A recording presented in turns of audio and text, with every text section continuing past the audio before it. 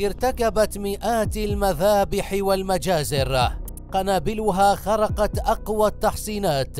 مقاتلات هزمت جيش هتلر وانتصرت على النازية. وشكلت درعا جويا لحماية السوفييت خلال تسعة عقود من الزمن. تسعون عاما من القتال المتواصل لأكثر من ثلاثين طرازا. وما يزيد عن أربعة وعشرين ألف طائرة مصنعة لأغراض متعددة. مقاتلات قاذفة واعتراضية وشبحية تألمت من ضرباتها أوكرانيا وعجزت دفاعات النيتو عن ردعها. في هذه الحلقة نكشف لك عزيزي المشاهد أسرار وتفاصيل السفاح الطائر سوخوي القبضة الجوية المميتة. الشبح المجرم سوخوي سبعة وخمسين. أحدث طائرة شبحية روسية من الجيل الخامس. قيد التشغيل في الوقت الحالي. بدأ العمل في مشروع إنتاجها في العام 1990 كردة فعل على إنتاج الولايات المتحدة للطائرة F-22 رابتور و F-35 لايتينج تمتلك سو 57 هيكلا مصنوعا من خليط من المعادن المشتتة للحرارة والماصة لموجات الرادار. إضافة لهندسة التصميم التي تشتت موجات الرادار الإشعاعية والمكروية وطلاء خاصا لذات الأغراض مما جعل مسألة اكتشافها أو تتبعها أمرا مستحيلا باستثناء التتبع البصري وهو لا يشكل خطرا على الطائرة أكثر من نسبة 5% كذلك تصميم المحركات وهندسة التصنيع التي تشتت الحرارة بشكل هائل وتحافظ على درجة حرارة قريبة جدا من درجات حرارة الطقس في المحيط. مما يعيق أيضا مسألة تتبعها حراريا وأتاح لها التحليق في كل الظروف الجوية والتكيف مع كافة المناطق الجغرافية حول العالم. أما التقنيات والأنظمة الإلكترونية فلا تزال روسيا تحيطها بهالة من السرية. ولها كل الحق في ذلك. فأي تفصيل صغير بإمكانه تعريض الطائرة للخطر وخلق ثغرة تهدد طبيعة المهمة التي أوجدت لأجلها. يبلغ طول المجرم الخارق 22 مترا وبارتفاع 6 أمتار وبعرض 14.2 متر ويبلغ وزنها فارغ 18.5 طنا. وعند أقصى حمولة 37 طن شاملة الوقود والذخائر. تعمل سوخوي 57 بمحركين نفاثين. لم يكشف الستار عنهما حتى اليوم. بمقدورها دفع الطائرة للتسلق بسرعة 360 مترا في الثانية وحتى ارتفاع 21 ألف متر وبسرعة قصوى 2.7 ماخ. أي ما يعادل 3300 كيلو متر في الساعة ضمن نطاق عمليات يصل إلى 5600 كيلو متر وتمتلك سو 57 مستودع ذخائر داخل هيكل الطائرة يتسع لعشرة مقذوفات متعددة الأنواع والأغراض. لكن الأكثر شيوعا هي قنابل ساب 450 الموجهة بالليزر عالية الدقة. وخارج الهيكل تمتلك ست نقاط تعليق لحمل صواريخ جو جو الأكثر تقدما في العالم من طراز فامبل آر 77 والقادرة على تتبع أي جسم طائر من ارتفاع 80 مترا وحتى 25 ألف متر وضمن نطاق 240 كيلو متر كما تمتلك مدفعا رشاشا معدا للاشتباك الجوي قصير المدى من عيار 30 ملم يصل مداه إلى 4800 متر. كشمات سوخوي 75 مقاتلة شبحية من الجيل الخامس متعددة الأغراض قادرة على سحق الأهداف البرية والبحرية والجوية على حد سواء. تتوفر بنسخة واحدة قيد التصنيع بمقعد واحد ويمكنها تأدية المهام القتالية بقمرة فارغة. أي بدون طيار ويمكنها قيادة نفسها آليا أو بواسطة متحكم أرضي وتأتي كشمات بمحرك واحد فقط يولد قوة 127 كيلو نيوتن. يتيح للطائرة الإقلاع من مدرجات أقصر من 200 متر. بفضل قدرته على توجيه الدفع بشكل شبه عمودي ويستطيع إيصال الطائرة إلى سرعة 1.8 ماخ أي ما يعادل 2100 كيلو متر في الساعة خلال مدة زمنية قصيرة للغاية ويتيح للمقاتلة الرشيقة الوصول إلى ارتفاع 16800 متر. تقنيات المحرك الفيزيائية والهندسية أخفتها روسيا لكنها قالت أن المحرك يتمتع بخاصية تشتيت الحرارة بنسبة 50% عن المحركات المستخدمة في أي طائرة شباحية أخرى ولا يستهلك الكثير من الوقود وصيانته تتم كل 60 ساعة طيران خلال عشر ساعات عمل بتكاليف بسيطة للغاية. نطاق العمليات لكشمات يصل إلى ثلاثة ألاف كيلومتر ويمكن أن يصل إلى خمسة آلاف كيلومتر في حال تدعيم الطائرة بخزانات وقود إضافية. وغالبا ما تكون مهام النطاق الطويل تجسسية أو لضرب أهداف في غير ظروف المعارك التقليدية. والمفاجأة الصادمة أنه سيكون هناك ثلاث نسخ من سو 75 النسخة التصديرية والتي لا تحتوي على كافة التقنيات الروسية المتطورة. ونسخة بمقعدين. غالبا ستكون لمهام القتال الجوي وإخماد الدفاعات الأرضية وستتميز برادارات أوسع نطاقا. ونسخة أخرى محدودة هي الأخطر ستأتي بدون طيار. تم تزويد كشمات برادار من نوع إيسا الذي يستخدم خاصية المسح الضوئي ولا يتأثر بالظروف المناخية. ومن الصعب التشويش عليه أو خداعه. بنطاق مسح يصل إلى 450 كيلو مترا جوا و550 كيلو متر بحرا و240 كيلو متر أرضا بزاوية لا تقل عن 75 درجة. كما تم تزويدها براداران جانبيان وآخر خلفي بنطاق أقصر. لكن هذه الحزمة توفر للطائرة حماية من الهجمات المباغتة وترفع من قدرتها على كشف المخاطر والكمائن الجوية. وسرعة في ردود الفعل ومدة زمنية لصالح كشمات كإنذار مبكر يتيح لها ضرب العدو قبل أن يتمكن من الإغلاق عليها. نظام التهديف في سو 75 يتيح لها رصد ومراقبة 100 هدف في آن واحد والاشتباك مع ستة أهداف في ذات الوقت وهو مرتبط بنظام للحرب الإلكترونية يعمل على إعماء رادارات الأعداء والتشويش عليها وخداعها. حيث يبث موجات عرضية تظهر العشرات من الطائرات على رادارات العدو باتجاهات وسرعات ومواقع مختلفة. بينما في الواقع تكون هناك طائرة سو 75 واحدة فقط. أما التسليح فتبلغ حمولة تشيكمات سبعة أطنان من الذخائر وليس أي ذخائر فقط الذكية والمتطورة كصواريخ الفرط صوتية وقنابل فاب الموجهة بالليزر وغيرها من الأسلحة الدقيقة. فروج فوت سوخوي أربعة وثلاثين. هي قاذفة متعددة المهام من الجيل الرابع والنصف واحدة من أنجح الطائرات الحربية التي تم صنعها في تاريخ الأسلحة الجوية. قاذفة تكتيكية متوسطة المدى وطائرة اعتراضية شرسة للغاية. ولا يقودها إلا طيار ماهر يدرك قدرات الطائرة التي بحوزته. ينسجم معها ليكونا جسدا واحدا. يمتلك ردات فعل سريعة ويؤدي مناورات بشكل بهلواني. يجمع بين المتعة والخطر والاستعراض والهرب من فخاخ وصواريخ الأعداء. يبلغ طول المقاتل القاذف 23.4 متر وبعرض 14.7 متر. وبلغ وزنها وهي فارغة 22.500 كيلوغرام. وعند الحمولة الكاملة شاملة الذخائر والوقود 41.600 كيلوغرام.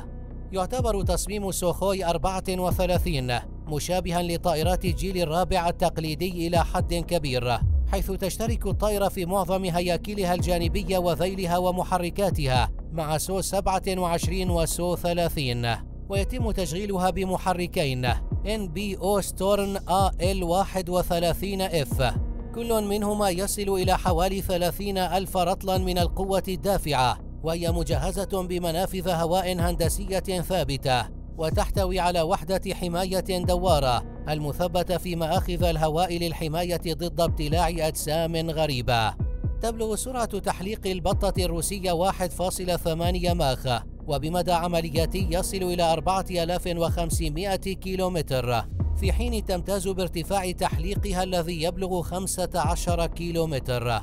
تحمل الطائرة 12 طنا من الوقود داخليا في خزانين للوقود في الأجنحة وأربعة في جسم الطائرة. ويمكن أيضا تركيب ثلاث خزانات وقود خارجية. سعة كل منها ثلاثة آلاف لتر لزيادة مدى التحليق إلى ستة آلاف كيلومتر. ويمكنها التزويد بالوقود جوا. ليست شبحية لكن قدراتها الإلكترونية تتفوق على طائرات المنافسين الشبحية فقد تم تزويد طائرة البطة بمجموعة إلكترونيات طيران جديدة تضم رادار بيكا إم وهو رادار صفيف نشط سلبي مع جهاز TWT لتعزيز الموجات المرسلة. يعمل في المدى الموجي X band ورادار بيك وهو مصمم للمراقبة. والكشف عن الأهداف العسكرية للعدو. وكذلك توفير وضع المراقبة تلسكوبية بدقة تصل إلى 30 سنتيمتر.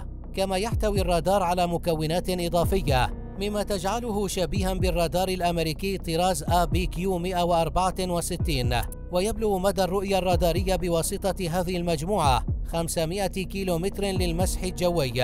و280 كيلومتر للمسح البحري و130 كيلومتر للمسح البري ليس هذا كل شيء.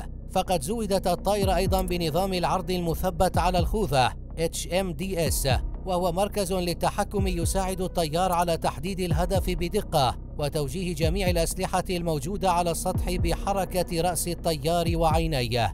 وتعتمد الطائرة على منظومة الحرب الإلكترونية. وهي واحدة من أقوى أنظمة الحرب الإلكترونية والحماية الذاتية في جميع الطائرات الحربية حول العالم.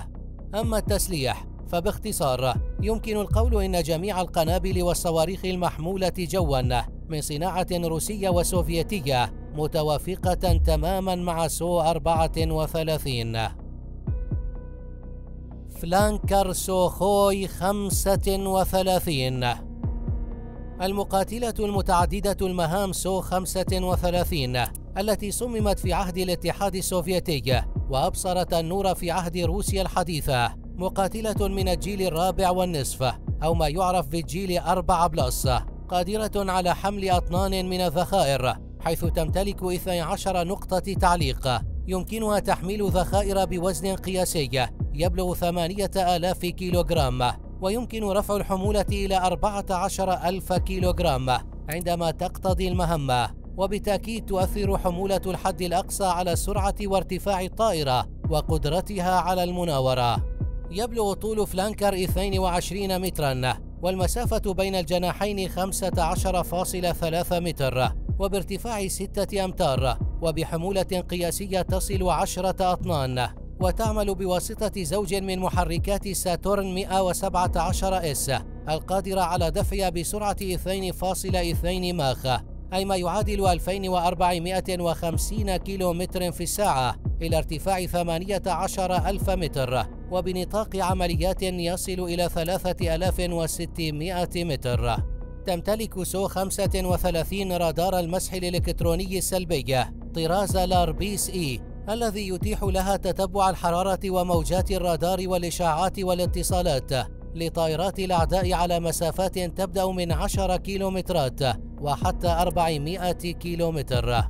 بمقدور فلانكر حمل صواريخ جو جو من طراز آر 74 وآر 70 وهي صواريخ قتال جوي يصل مداها إلى 410 كيلومترات منها ما يعمل بنظام الإغلاق الراداري. أو نظام الرؤية تحت الحمراء أو نظام تتبع الحرارة أو نظام القصور الذاتي. أما صواريخ الهجوم الأرضي أو الهجمات ضد الأسطح والقطع البحرية فتتسلح سو 35 بالصاروخان الشقيقان كي إتش 27 وكي إتش 25 الموجهان بالليزر والتسديد البصري أو التلفزيوني ويبلغ مداهما 40 كيلومتر. إضافة إلى قدرتها على حمل ثلاثة صواريخ كروز من طراز كلايبر المجنحة والتي يصل مداها إلى نحو 3800 كيلومتر. وهذه الصواريخ مخصصة لضرب الأهداف خارج منطقة السلامة كالتحصينات الساحلية والمدن ضمن المناطق المعادية وتدمير المطارات ومنصات الدفاع الجوي كما فعلت في أوكرانيا مؤخراً.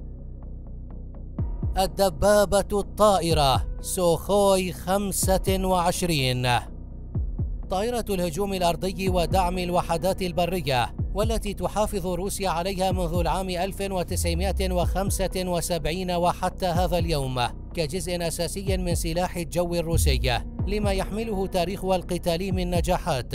فهي ليست مجرد دبابة طائرة بل هي قاتلة للدبابات. ومعروفة لدى النيتو بلقب قدم الضفدع وهي نسخة روسية للطائرة الأمريكية A10 ثاندر بولت يبلغ طول الدبابة الطائرة 15.33 متر ويبلغ عرضها 14.63 متر. وبارتفاع يبلغ 4.8 أمتار وتحتاج إلى طيار واحد لقيادتها. يبلغ وزن سو 25 فارغة 10.7 أطنان و20.4 طنا شاملة خزانات الوقود والذخائر الداخلية والخارجية. تعمل الطائرة بمحركين اثنين من طراز تومانسكي آر 195 وبمقدورهما توليد قوة دفع تصل إلى 88.3 كيلو نيوتن ويتيحان للطائرة التحليق بسرعة تصل إلى 950 كيلو متر في الساعة عند أقصى حمولة. بمدى عملياتي يصل إلى 2600 كيلو متر وبقدرة التحليق على ارتفاع 10000 متر. للدبابة الطائرة درع من التيتانيوم وخليط من المعادن الأخرى ما يمنحها قدرة عالية على مقاومة الطلقات النارية من المضادات الأرضية. أما عن التسليح فتتزود سو 25 بمدفع مزدوج من طراز جريازيف 20 من عيار 30 ملم وتذخير يصل إلى 600 طلقة. كما يمكن للطائرة حمل صاروخين جو جو من طراز آر 60 بالإضافة إلى تسع نقاط تعليق تسمح بحمل 4500 من الذخائر المختلفة. كقنابل سي آ بي وإف آ بي والقنابل الفراغية والعنقودية وقنابل النابالم والفوسفور والصواريخ الارتجاجية الخارقة للتحصينات التحت أرضية. فينسر سوخوي 24 واحدة من أعظم المقاتلات الجوية خلال حقبة الحرب الباردة ولعلها الوحيدة من مقاتلات تلك الحقبة التي تأتي بمقعدين متجاورين. حيث يجلس الطيار المقاتل جنبا إلى جنب الملاح قادرة على تنفيذ هجمات برية وهي تحلق بسرعات أعلى من الصوت وحمولتها من الذخائر رهيبة حيث تستطيع تعليق أكثر من 12 طنا من القنابل وصواريخ كروز على عشر نقاط تعليق. يبلغ طولها 22.5 متر وعرضها 17.6 متر. وارتفاعها 6.2 متر بوزن إجمالي يصل إلى 38 طناً.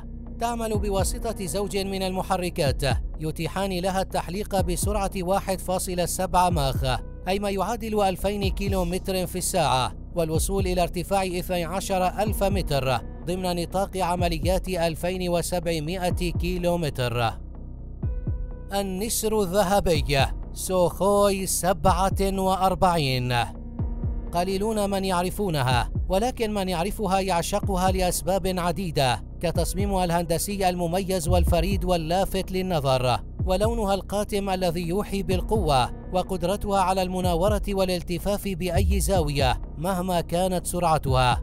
الأجنحة المعكوسة أو المكتسحة ربما شاهدتم شيئا مشابها عندما كنتم صغارا كعصا فتى الأدغال موكلي.